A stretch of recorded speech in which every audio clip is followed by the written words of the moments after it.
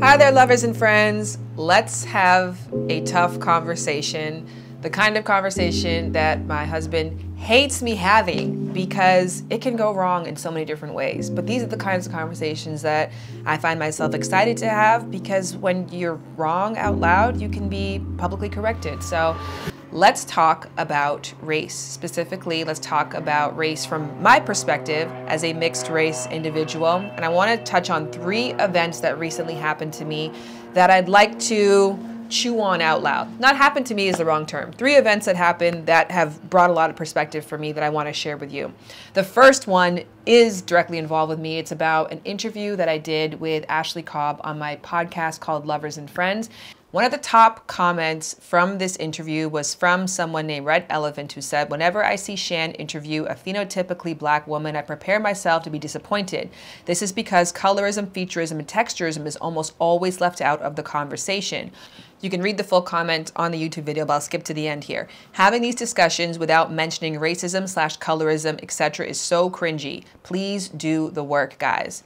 Secondly, I want to talk about the Erica Mena and Spice reality TV moment in which they got into a heated argument and Erica Mena referred to Spice as a monkey.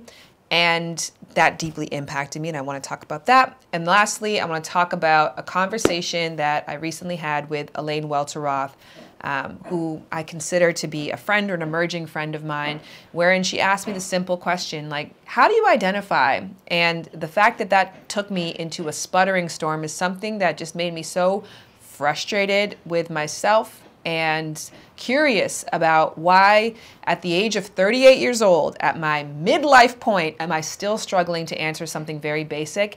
And I'd like to change that today. And that's what we're going to get into.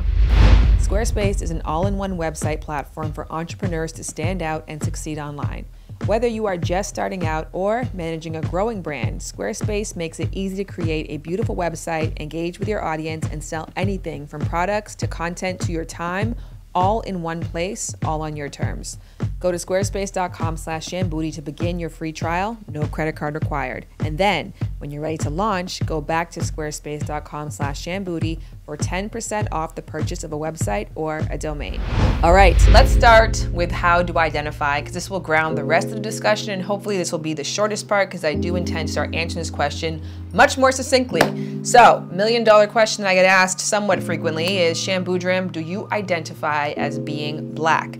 Yes, I am mixed with black, proudly mixed with black. Well, Shan, do you identify as being Indian? Yes, I am mixed with Indian, proudly mixed with Indian. Shan, do you identify as being white? Yes, I am white. I am mixed with white. I put more stuttering on that because, in full disclosure of how I was raised, my white side, which is my mom's father, um, wasn't present from the time that she was born. So I don't have access to my white ancestry, my white family. I didn't really grow up with that as being a part of my cultural identity. So yes, I obviously am white. Look at me. I obviously have Eurocentric features and I'm mixed with white, but in my lived experience, that's just not how I was culturally raised. And as I've grown up, I definitely have access to the white community and have friends, but that's not like the predominant way that I socialize. So I say that with a stutter because I may not understand what it means to be white or the experience of whiteness in the same way that I do experience and understand blackness from the perspective of my culture and Indianness from the perspective of my culture and my upbringing. So that's the short answer of it. I often see comments on YouTube with people saying things like, well, Shan doesn't identify as black, so we have to keep that in mind. Or she doesn't identify as to keep that in mind. We have to always keep in mind that like she can't fully be trusted. And a part of that may come from my own trepidation of not wanting to step on toes. Um, but I have to acknowledge that I can't change the fact that I am. I am black. No matter how much you don't agree with that statement, it doesn't change my lived experience, doesn't change my genes or my biology. Doesn't change the fact also that I am Indian and I am white, etc., etc., etc. What this does say, though, is that because I am not any one particular thing, I exist more as a bridge than versus as a citizen of any particular racial or ethnic group. And there's advantages to being a bridge, obviously, where you can communicate messages from one group to the other. You can identify with multiple different places, and you get to enjoy the richness of each land to an extent. There's Disadvantages, of course, for the exact same reason. You don't get to firmly be in any land. An alternate perspective is that instead of looking at yourself as a bridge who exists in both places, but not 100% in either or all three or however many places that you know you find yourself tied to, is to just say, well, bridges are its own country by itself. Like you don't actually, you're not black, you're not Indian, like you're just mixed and that's its own thing.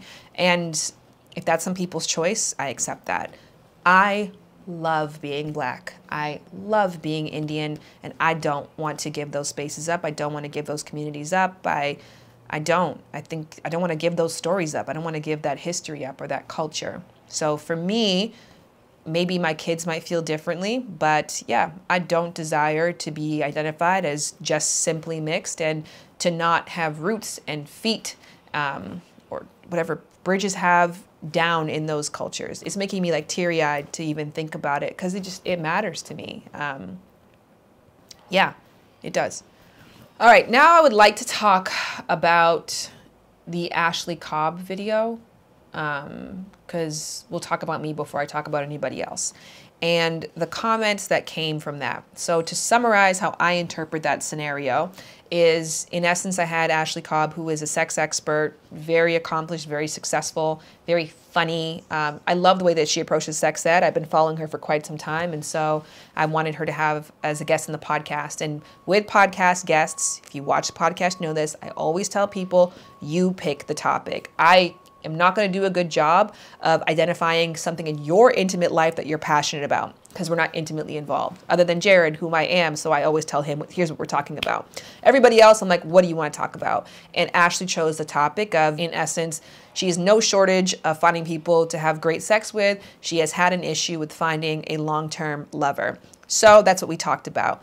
And in this conversation, we're obviously talking about our similarities, right? Like we both talk about sex for a living. So at a certain point in the conversation, I created a similarity, you know, between us and saying that, yeah, I've also been stigmatized for being sexually liberal, but here's how it worked out for me and here's what I did that brought me to an outcome that I think worked out for the better um, without acknowledging that my path is not going to be her path because we don't look the same. We don't have the same lived experiences. So people in the comments were saying my failure to bring that up, you know, is the problem and is a huge issue that I failed to address. I half agree with myself when I think back on that.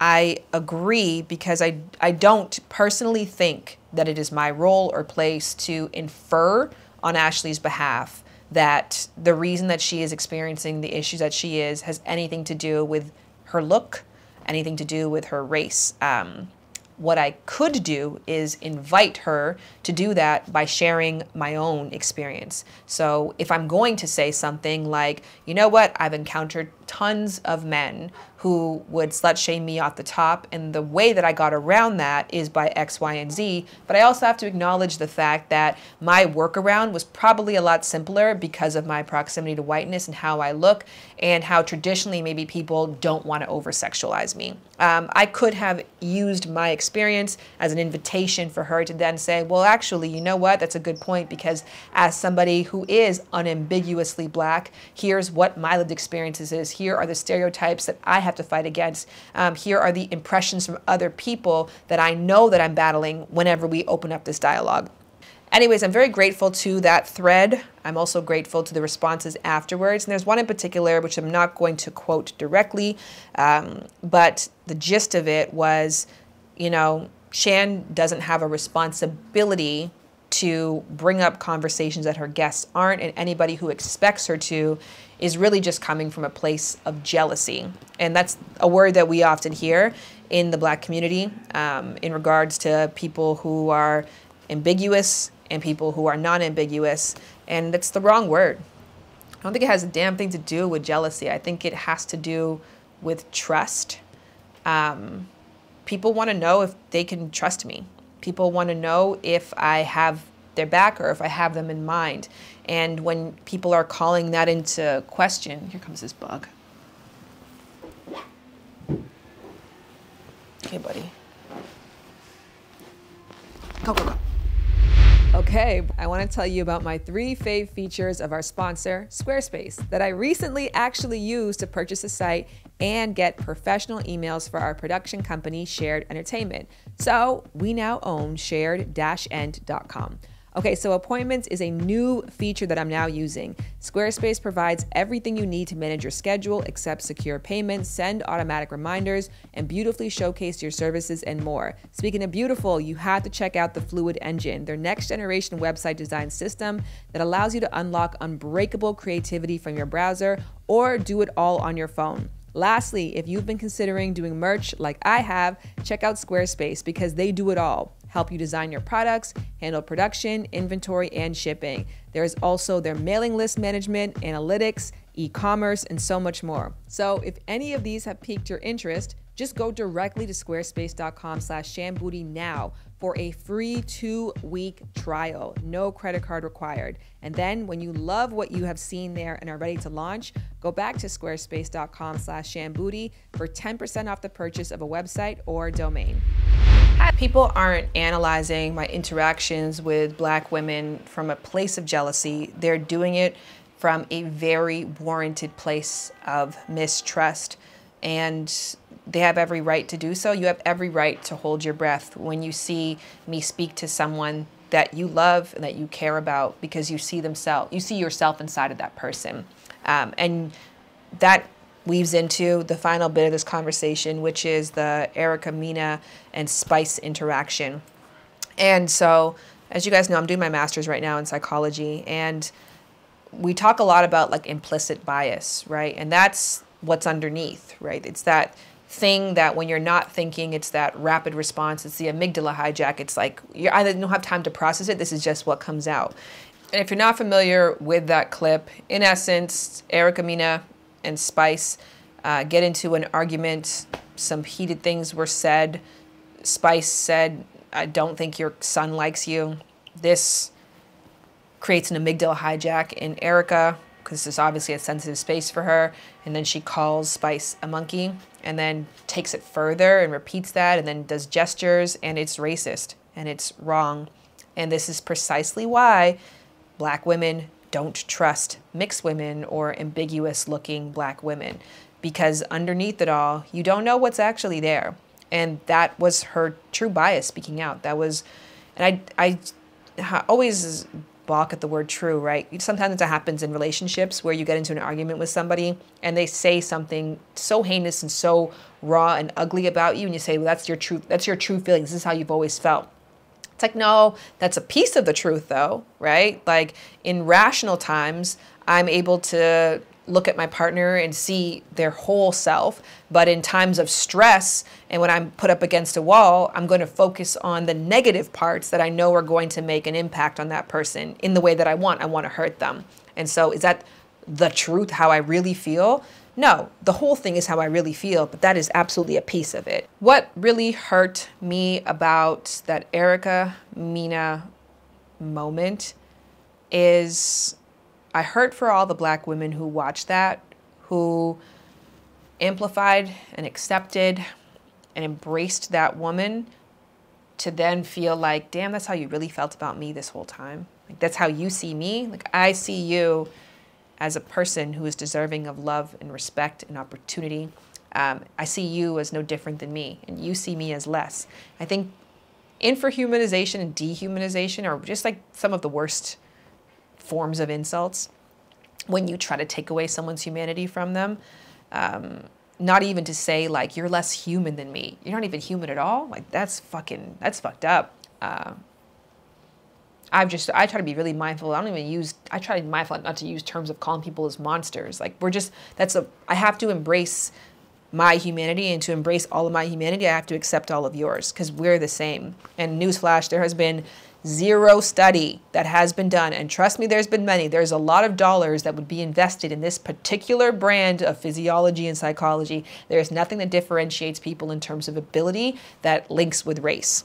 You can link it to culture, like to a certain region who mates with each other and only each other for hundreds of years like you can do that. But in terms of race when we look at the spectrum of race you know globally there's nothing out there that says that this version of this brand of human is better or smarter or more capable than that brand of human or has a bigger penis even. Let's talk about what i know very very well. So that to be said yeah you can never ever rank yourself above anybody else. You are not above anybody else. You are not more human uh, more exceptional, more awesome, and nobody, absolutely nobody who is a human is less human. Nobody is a fucking monkey. So, yeah, those moments hurt, and they obviously don't help people who look like me, but it does help because it gives me empathy to say, oh, okay, I get it. And when that moment happened, I revisited the comments from the Ashley Cobb interview, and I was like, okay, I understand where this mistrust is coming from. I understand why it's completely valid. And I also think from a personal perspective, when you are the individual, you know, who has that moment where your implicit bias speaks for you, um, that's also a great healing and learning opportunity to be like, oh, goddamn, I didn't realize that that still existed in me. And it, that's a even a fraction of you, if that's what a fraction of me really thinks, how does that show up in harmful ways? And if you love black women, if you love yourself, you will be interested in healing that, not trying to gloss over that or trying to deny that. You have to actually want to embrace that part of you and work that shit out. And it's a great opportunity to do that if you're willing to let it be a learning opportunity. I think I've seen the mistake, like, what's that girl's name? The yellow bone girl, um, who she tried to come out and say, no, no, no, no, like I'm not racist, I'm not this. Like, yeah, you are. Yes, you are a colorist. Yes, you are.